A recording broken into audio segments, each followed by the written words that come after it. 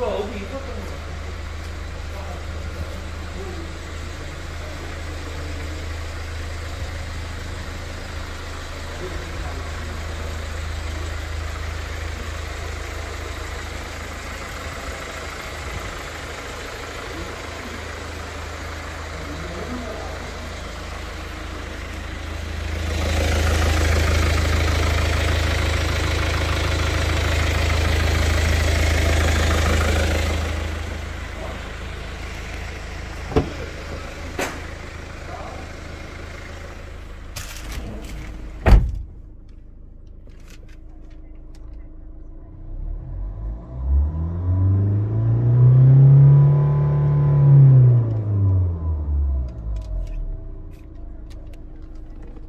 당내 경선 과정에 개입한 혐의로 1심에서 실형을 선고받고